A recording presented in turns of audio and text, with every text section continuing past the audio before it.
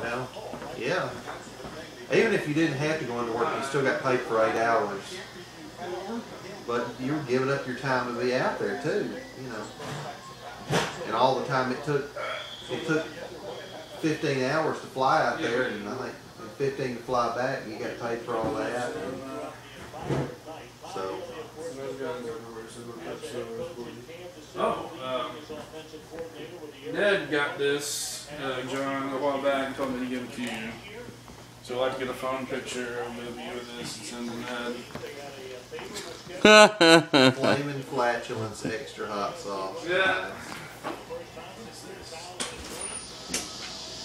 Fantastic.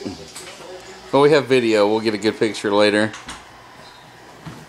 I'd give you a dollar if you did that. All right, Sam. Who's winning the football game?